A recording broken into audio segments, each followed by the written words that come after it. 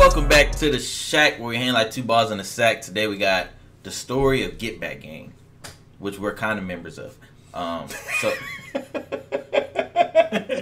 No, we're not. we like honorary members. We not like members. Come on, you're fucking with me. We like honorary members. No, no. Like, yeah. It's like when Von said, like, when he told 63rd, he said, just sit back and let the fans have this. He said, they, they're not involved. They just, just let them have this. They're having fun. Yeah. We just having fun. Just let us have this. he tripping. He tripping. He tripping. Anyways, uh, story of Get Back Gang. Uh, let's go. O Block is one of the most known sets in Chicago. They got big artists like Chief Keef and King Von, who put on By the way, there's only one King of Drill, and that's that's the one that came out at age 16. Dropped the greatest drill album we ever heard, King of Drill. called no, King of Drill. Finally Rich, and that that's the greatest drill album of all time and the greatest drill artist. Welcome of to Old. Block. Uh, just so y'all know, Chief Keef is is the godfather of all this. That don't mean he the best. on for them all over the world, but they also wrote Bob Cousy played basketball first. That don't mean he better than LeBron. deep with some of the most savage shooters in the city. In 2017, a respected member of O Block named T-Roy was killed. His death made members of O Block and 600 come together to form one of the deadliest cliques in Chicago history, the Get Back Gang. Let's get right into it. T-Roy was one of O Block's key members. He was born and raised in the neighborhood and jumped off the porch at a young age. But what turned him into an assassin was when his homie OD Perry got killed in 2011. OD was from Wick City, which became O Block after his death.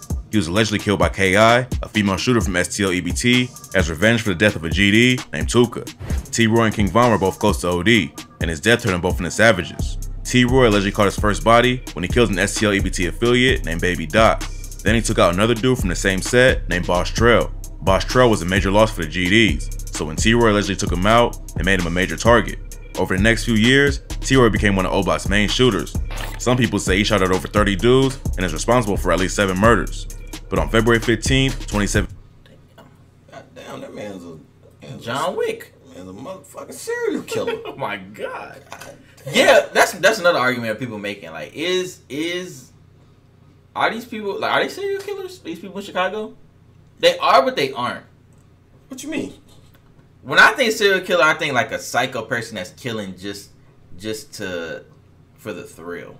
No. And I feel like part of it they are killing just for the thrill, but part of it is like, well, you killed this person that I love, so now I have to kill you. Now you gotta kill. Yeah, it's know. for. I It's, think I don't want it. Or maybe they do want to kill you a little bit, but like, you know, whoever killed T. Roy, that caused Von to go do whatever he did, or whoever did to get back for T. Roy. T-Roy, yeah. I don't. I feel like are they serial killers though? Yeah. Yeah. Okay. His ops caught him lacking and he was allegedly killed How many you got to kill to be a serial killer? I think it's three. Three. I think so. Okay. by a dude named TB. TB was from a GD set called Taekwondo. Hey, I remember I, him. I know it's. I know if you got the seven, you damn sure a serial killer. I World, remember. who was known Oh, to be yeah. for O Block. On the day he got killed, T-Roy was allegedly out hunting for TB, but was spotted by his ops before he could find him. According to rumors, FBG Duck's older brother, FBG Brick, spotted T-Roy and gave TB his location. So, TB was able to get the drop on him first. T-Roy's death was a huge loss for O Block. He was one of their most well-loved members and top shooters. After he died, his brother HK formed a Get Back gang hmm? and kicked off members and top shooters. What's not funny? It literally is. Motherfucker got seven bodies though. Motherfucker got seven bodies though. Imagine him running up on you. Man, Like that's probably why he was able to get so many people. They thought an eight year old was running up on him. that's not. What? Uh, why we dissing T Roy? I thought you was J Roy. I don't know these people. That's the reason you J Roy. Hey. him. we keep that off the internet. I'm not Jay. You said it on. I didn't say it on here. I said we're get back game. No, but you said it on other videos. All right. Well, I'm J- I am J Roy, but. Ima- But imagine how people he for real. Imagine how people he ran up on had a hoodie on or something. and They thought he was probably a kid or something. They Yeah, think he, was. Is, he is little. He's little. He's super little. shooters. After he died, his brother HK formed a Get Back gang and kicked off one of the most violent beefs in the history of Chicago. King Von was in prison at the time T-Roy was killed. They was close as brothers, so revenge was the only thing on Von's mind. Everyone knew that a war was brewing. A dude from 600 named Buka put the whole city on alert when he tweeted, Y'all don't know the half of what's gonna transpire. The ops might have gotten T-Roy, but his homies was about to make him regret it. But before G I didn't know Buka was involved like that. Like, I knew he what- grew up with him and so Well, but they I said think they said that when he got killed, they formed Get Back Gang. Six hundred. Buka was a part of that? Six, Buka, his name Buka six hundred. Well, yeah, but yeah. So so six hundred and O Block formed. Get but like Buka be quiet these days. Like he don't. I don't ever see him like Yeah. getting involved in anything. or making music. GBG could get to work, the BDs lost another member named Babo. He was one of the top shooters from THF 46, a BD set allied with O Block and 600. Just six hours after he posted bail for a murder charge, Babo was allegedly killed by Drilla in Montana from 051 Young Money, a set of the Mickey Cobras. At this point, GBG was ready to shoot every op on site, no matter what they repped. The first body they allegedly caught was a dude from Draw City named Lil Ho. Gleesh, E-Dog, Duke, and T-Roy's brother, HK, was hunting for ops in Draw territory. When they saw Lil Ho on the street, they let off shots without hesitation. His name was Lil Ho? Is that what they saying? Is that no? But is that what they said? I think so. Okay. I, I, Why he can't be that? Lil Ho? Yeah. You, my nickname not about to be Lil Ho. I'm just saying. Nah, nah, nah, nah. No, they They can't call come you up with something else. Maybe they said Lil hole. Yeah, Yeah, that's not much better. Yeah, we'll see. Little hole. Yeah. Nah. They called him Lil Hope. You think? That's what he said. and made the Get Back Gang official. After the hit, E-Dog let everyone know that they were just getting started when he tweeted, Summer 2K17, a lot of Get Back Gang shit about to be going on. Hashtag, it's gonna be a cold ass summer. One week later, Mikado and Catfuck12 from 600 ran up on JMO from MOB and shot him to death. Then, HK and Duke supposedly caught an op from Taekwon World a month later. They was roaming around in enemy territory when they saw a dude named Poppy. That's when HK allegedly hopped out and shot him in the head, earning him the nickname Headshot King. According to rumors, the next hit came when O Block and 600 was sliding in NCL EBT's turf. They saw FBG Brick and his cousin Kobe Mack walking down the street and pulled up next to him. Kobe walked up to see who was in the car. Then Gleesh and Catfuck12 allegedly started letting off shots. Brick tried to run off, but Trey 5 and HK chased him down and killed him. I ain't gonna lie. We we three minutes in, right? So many bodies have dropped. like, damn. yeah, a lot of Like this some like, wild shit. Ten plus bodies have dropped. Already. Do they know like you can't reset the game and get a new life? Like this is real shit. I think it's just due to the fact that the cops didn't care to solve anything in that area. So like they Because was crime rate was so high. So it was just like killing. We ain't gonna- we ain't, we ain't gotta worry about nothing. No consequences. Yeah, if I go kill him, I don't have to worry about you coming to get me. You just but, like- worry about the game coming to get you. Well, yeah. not the cops. But like in any other world, you gotta think like I'm gonna get caught, right. but just not in the worst neighborhood in Chicago. I mean, you know, in Chicago. Killing Brick was massive for GBG. After the hit, they mocked Brick on social media and made it clear that he wasn't gonna be the last op they took out. E-Dog tweeted, hashtag, it's gonna be a cold ass summer.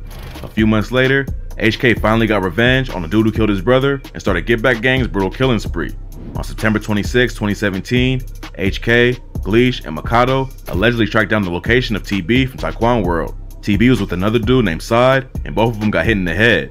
Side survived, but TB died at the scene. GBG finally had payback for T-Roy's death, but that wasn't enough. At this point, it was like O-Block and their allies were trying to wipe out the whole city. Chicago was always violent, but Get Back Gang was dropping bodies Free Muwop. No, do not free move. Do not free move up. He killed somebody. We don't know that. We know that. It's on. They tracked him on camera. We leaving don't the, know that. leaving the building, we- driving. We're not, we're not They getting got into it. the We're not getting into it. I'm just saying. He gonna tell us. He gonna tell us. Probably. like nobody had ever seen. Two days after TB's murder, E-Dog, Mikado, and Gleesh killed a dude from Draw City named Freddie O. Three days before the TB hit, E-Dog tweeted, hashtag, get back on the way, just watch. GBG wasn't just hitting the ops on site. They was posting their moves on social media for everyone to see. They didn't care if the ops saw them coming. They thought they could step on anyone in their way. By this point, GBG looked like they was untouchable. It was like they could kill anyone they wanted, whenever they wanted. STL EBT, Draw City, and Taekwon World wasn't really even fighting back. O Block and 600 was rolling so deep that no one wanted to smoke with them. But things changed when Wooski from STL EBT, Lil Cho from Taekwon World, and Skinny from Draw City decided to link up and take out one of the deadliest shooters in Get Back Gang. Skinny, Wooski, and Lil Cho had all lost homies to Get Back Gang, and they got tired of being hunted in their own territory. According to rumors, the three of them rode up to O Block and saw HK standing outside the gates. He saw him coming and tried to run inside, but he got hit and fell down. Then Lil Cho, Skinny, and Wooski allegedly finished him. A few days before HK was killed, he jumped into the comments on Skinny's IG Live and taunted him about TB's death. The fact that this is screen recorded, it's only five people in this Instagram live, and one person got in there and started. Like at this Screen point, I'm guessing they weren't any. They weren't anybody to the rest of the world yet. Right. Like But they started screen record. It's five people in there. five people. So this is somebody that obviously probably knows one of the sides. Right. I mean, that's Gleesh in the comments, and then HK in the comments. Like Right. That's three people right there. Is that Obviously- Gleesh from Gleesh Place? Yeah, they mentioned him already. Okay. I, I ain't hear him say Gleesh. Yeah. yeah. Oh.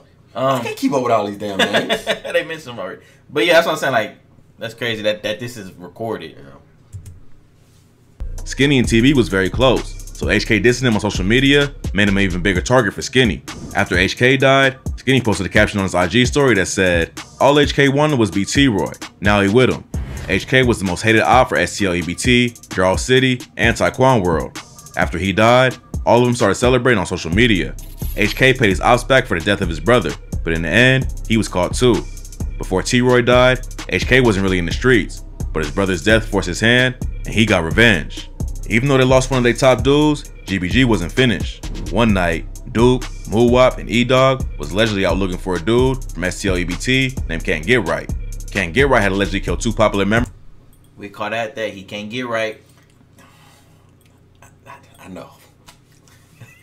I don't like it when the when the, when the bars be. That's too the real. face. I know, but when the bars be too real, I don't, I don't like it. What he say? He tried to run, but it ain't in right. Yeah. Yeah, that's crazy. members from O Block back in 2016, Chino and Big A. Someone told E Dog and his homies that Can't Get Right was outside of a store in STL EBT territory, so they slid through and rushed him.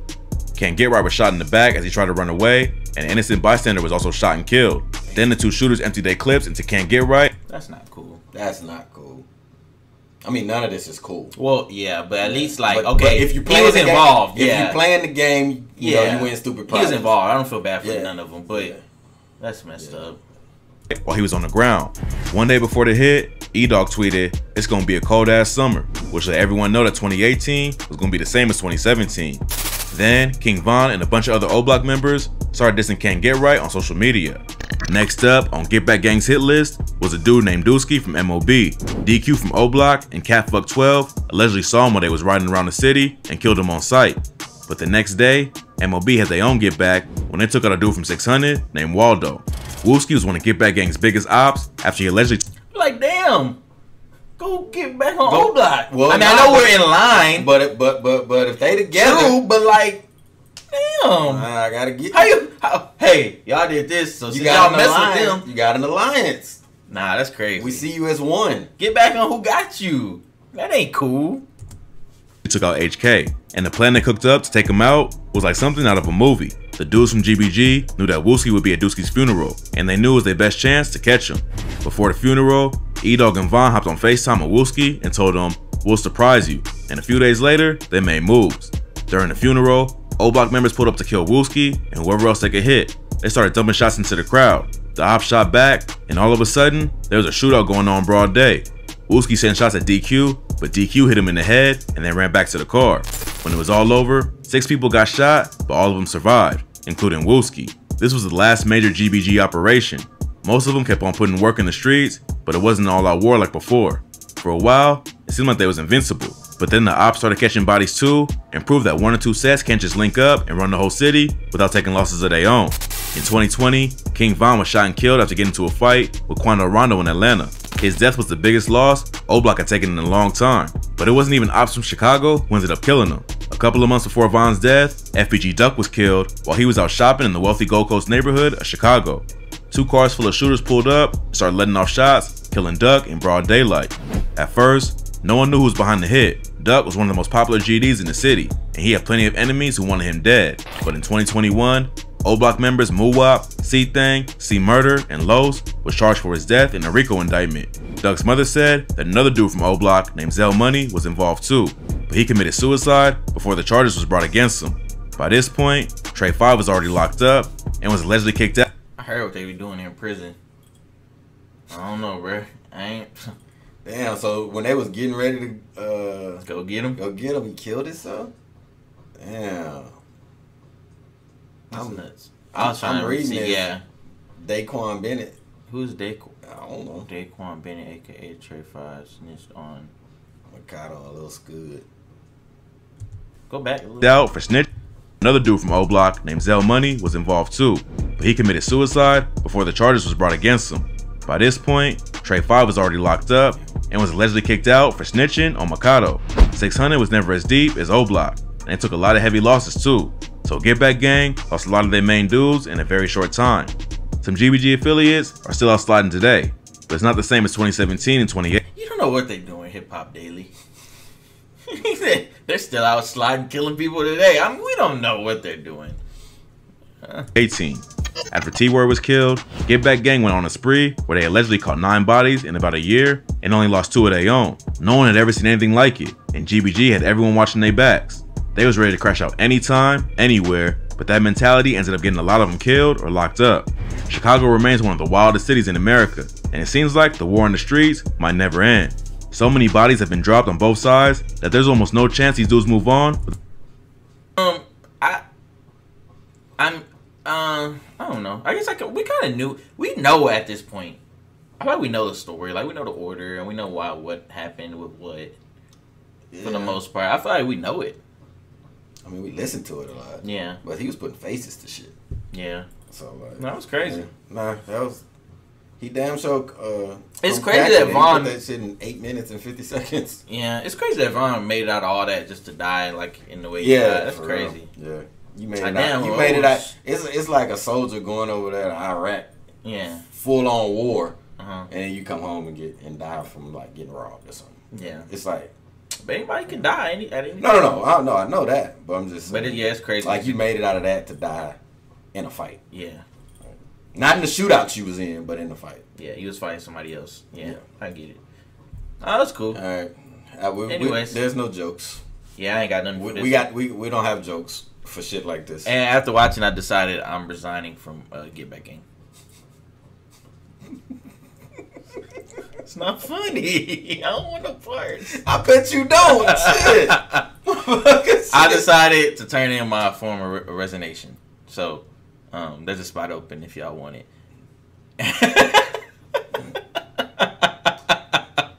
like, comment, and subscribe. We out.